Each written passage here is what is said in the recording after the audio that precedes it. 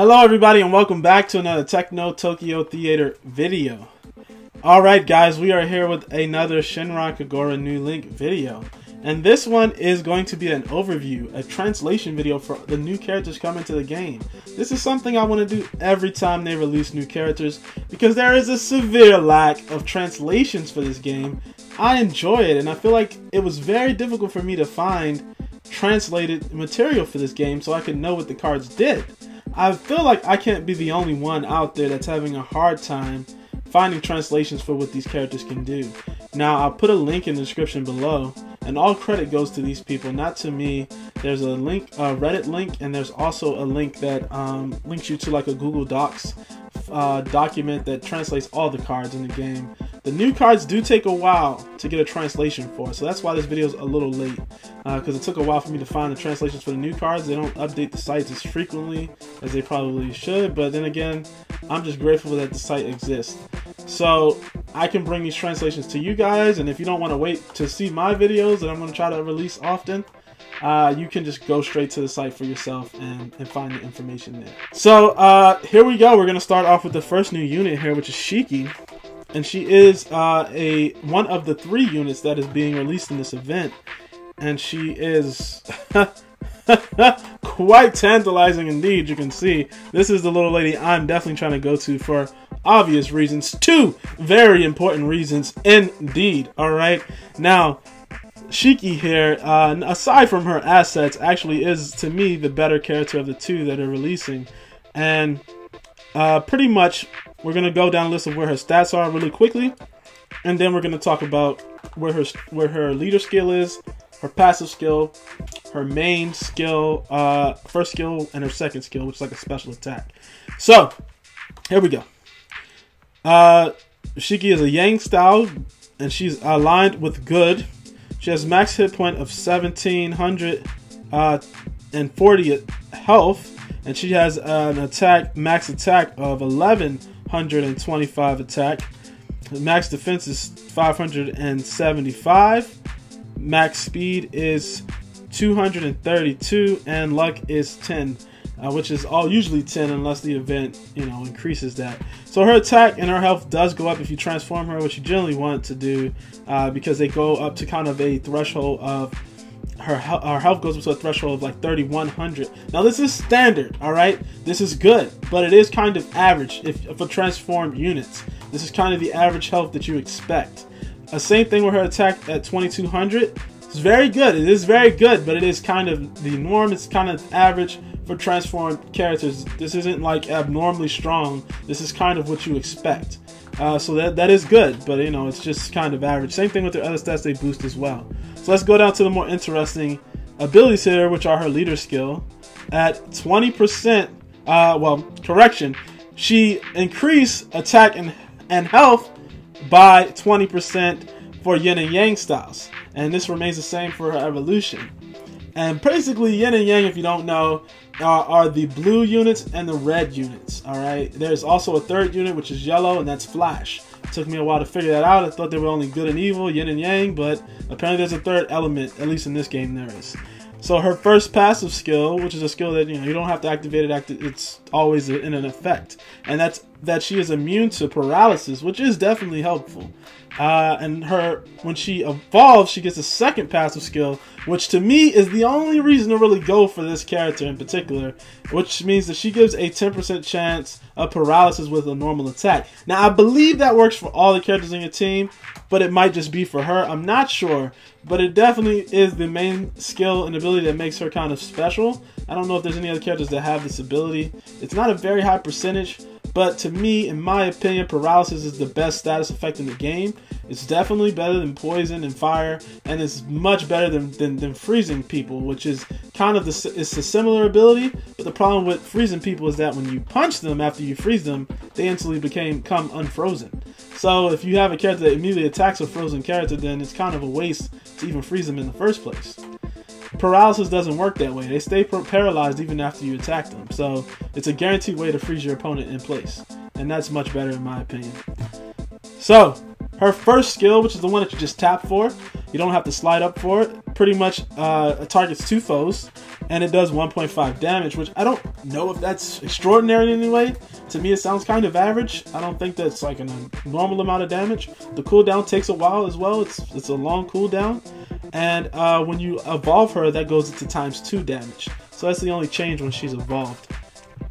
So here we go. Her skill, kind of her special, if you will. This is the one with the animation. Once you slide up the, the slider, it'll go into special animation.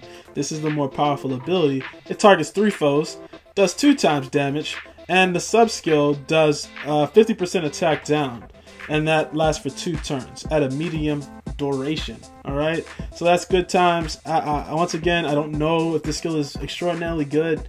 I'm still kind of new to the game myself, and I'm familiarizing myself with these characters and what they're capable of doing. But it, it sounds fairly average to me. It doesn't sound like an extreme amount of damage or anything, and it doesn't change at all from her evolution, aside from the fact that it does decrease the cost. The cost goes down to low. I believe cost and cooldown are the same thing, I don't really know, but that's the terminology that's being used here on this website. So, that's it. I think Shiki is definitely the better unit of the two that are releasing in this batch. So if you can get her, I think that you should definitely go for her, and especially for that voluptuous artwork. All right, now on to Midori. oh, uh, here she is, the little lady. Um, very nice artwork here in her evolution. The base the base form also has basic artwork, so there's not much to say there. Um, her her stats once again are pretty solid across the board. They're good, but they're kind of average. Even her stats, I think, are lower than than Shiki's, some slightly. But like I said, she's not the to me she's not the better unit of the two. If you're gonna pull, you definitely want to get Shiki. But anyway, here's Midori. Let's go down the list. Style is Yin. Her alignment is good. Her health is 1671. Her attack is 1125. Her defense is 569. Her speed is 227, and her luck is 10, of course. And uh, her attack, her health goes up to uh, 30,000, um, and her attack goes up to 2150. All right, so that's pretty much, uh, you know, so like I said, it's relatively average. It is less than Shiki, but not by much. All right, uh, and let's move on to her leader skill 20% attack and health boost to all good shinobi. So this is when you see the the, the white colored circle on the card that counts for the good shinobi and that ability stays the same relatively average they have characters that can do you know 30% uh, for those you know for certain elements so that's kind of what you would prefer I wouldn't use this character as a leader, and I wouldn't use Shiki as a leader either, because 20% isn't much. I mean, it's not bad, it's average. Alright, it's average, is what I'm trying to say. Her uh, passive skill is 50% chance to resist stun down damage, or status 50% chance to resist status down, not stun down. I don't even know what status down is or what that affects, but I guess that may be good in some way. Uh, and when you evolve her, she is she gets the Yen Killer ability, which is 50% attack up against Yen Yen style. So Yen style is the blue style, I believe. Uh, so yeah, I mean, mm, yeah, whatever. To me, like I said, her, her abilities just aren't as interesting as the uh, as as Shiki's in my opinion. I think Shiki's definitely a better character to go for. Uh, her special skill one, which is the one you just tap for, you don't slide, is targets three foes. It does 1.5 damage and has a medium cooldown, and that remains the same even in her evolution.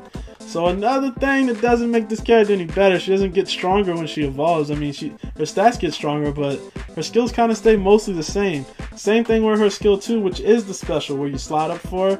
It just adds an it, it, it basically allows her to target four foes, and uh, of course it does some sort of damage. When you evolve her, it targets five foes, and that's really the only difference. The co- the cost or the cooldown or whatever it is is at a low cost, so I guess that's a good thing. But to me, kind of a basic character. Even more so than Shiki, which isn't she's not extraordinary, but if you want to get one of the two of these characters, you definitely should go for Shiki. And the last new character added, which is not really a new character, it's actually just a transformation that was given to a character that is already in the game, which is Asuna. Asuna, or Asaka, I think uh, it could be Asuna or Osaka. I'm not really sure. Anyway, let's say Asuna. She uh she uh, is in her swimsuit version here. They're gonna be doing swimsuit evolutions for all, all the girls eventually, but they only have two so far. One I've already evolved, and the next one I'm going to be evolving in this video. So that should be exciting because we're gonna evolve Asuna in a second here. But let's go ahead and see what she can do. Uh, in her evolved state, like I said, her stats are fairly average here.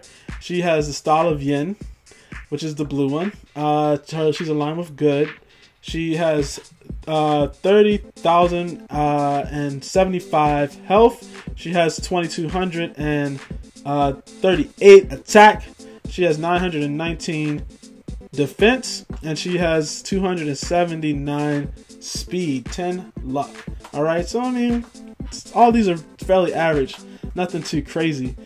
And uh, her special, once again, is 20% increase for health and attack and that's for yin and yang styles. So it's the same uh, ability that Shiki has. And like I said, that's like I said, it's pretty average to get 20% uh, increases. None of these characters are really leader worthy, in my opinion. So only thing that really matters is what their passive effects do, really. And let's see what her passive abilities are. It says 50% attack up when there's only one foe. This is extremely good because it's great when you're attacking bosses. Bosses take a while to kill, and a lot of times the other enemies in the room will already be killed, and you're just trying to kill one enemy. Or sometimes there may be two bosses. And that's where the second part of her skill comes into effect, where it is a 50% defense up when there are two or less foes. So not only does she get an attack boost, she gets an attack boost when there's one foe, she gets a defense boost when there's two. And to me, that's a pretty good effect because you're generally going to be fighting leaders, and it's good to have that extra damage and defense when you're attacking them. I think that's extraordinary. So, um, let's go into the the uh, skill one here, which is foe. Uh, targets three foes and it has a medium cooldown, which is mm, eh, it's not crazy. I don't think it doesn't really say how much damage it does. I guess that's another reason why I have a hard time. Uh, oh no, actually, my bad. Let me correct that. I think it I think it targets just I think it targets all foes, I believe, and it does three times damage, which is actually pretty good because that's much more damage than the previous character, both of them actually. And then her special skill, uh, which targets uh, also I think all foes, I believe, it does five times the damage, which is much better than the last two characters as well. So this character here, uh, already in the game, if you already have her, it seems like there's really no reason not to evolve her. Evolving them can take some time, but she's definitely better than the new characters that were even added to the game, which is surprising. so there you go. Uh, if you have Asuna swimsuit version, then you're in luck. And we're gonna go ahead and involve her now as a bonus, and we're gonna do a quick pull, uh, 50 gem pull to see if we can actually luck out and get some of these new characters here, or any new characters for that matter, because the rates on this game are terrible. so any luck we get is definitely good luck. All right, so here we are. We're gonna do a quick evolution here uh, of Asuna, so you guys get to see me evolve my Asuna, and uh, let's make it happen. These, these, these evolution can take so long to earn these little characters. I, I don't know if you got a chance to see what characters you need to evolve her, uh, but they're not hard to get. They just it's just time consuming, and uh, it doesn't really look. I mean, her evolution like she doesn't even change her outfit, which is kind of whack. That's kind of the main thing I have in these cool animations for the evolutions that you get to see an outfit change, and the artwork on the card changes as well. So I already had the stuff I needed.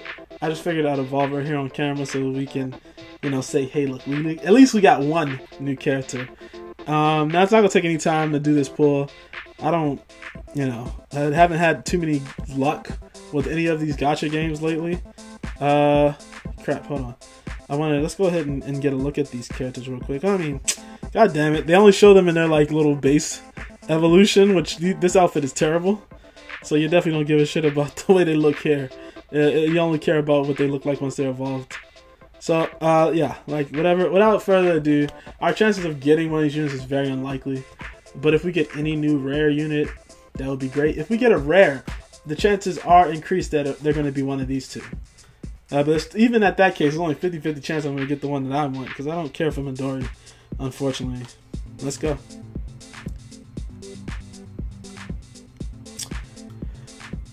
Two percent odds, man. That's how that's how rare it is that you get a rare. I just want to drive that home. So if we don't get anything here, it was just for the video's sake because I had to earn these gems just to put a finale on this video. Let's hope we do.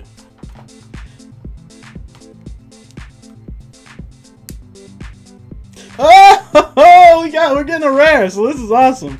Okay, uh, even if it isn't new, man, this is awesome. I do hope we get one of the new units. I, I would have liked to add her evolution and everything to the video as well, but uh, I don't think that that's really important. I mean, I'm sure you guys will will know what they look like when they evolve.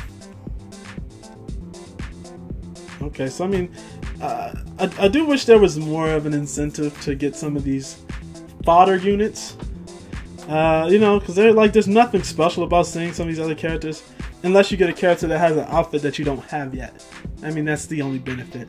Aside from that, you're just kind of just running through these characters because, you know, they, they're not really that interesting. Their artwork isn't interesting. They're just. Oh, come on, it's a new character. Oh fuck, I didn't want this girl. fuck? But I got I got the one I didn't want, but it is one of the new characters. So I mean, can I really complain? I don't know. I probably shouldn't be complaining because there's a two percent chance of you getting a rare.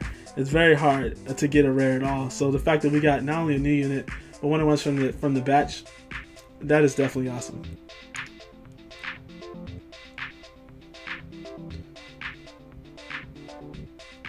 Yep, I mean, I really, like I said, man, that's great. So we actually got one of the new characters already. It wasn't the one I wanted, and I really want to complain about that. I don't know why. I just need to be grateful because you, you don't understand how many times I've pulled and and gotten jack shit. You know what I mean? So just getting a, a new rare is, is, something that you need to be grateful for. I hope this video was helpful, and uh, let me know what you guys want to see next as far as me covering some footage for Senran Kagura. Yeah, yeah, yeah, yeah. I like this game a lot and I want to see it more loved in the community. I want to get more information out there for you guys who are interested. So thank you guys for watching and have a great day, guys.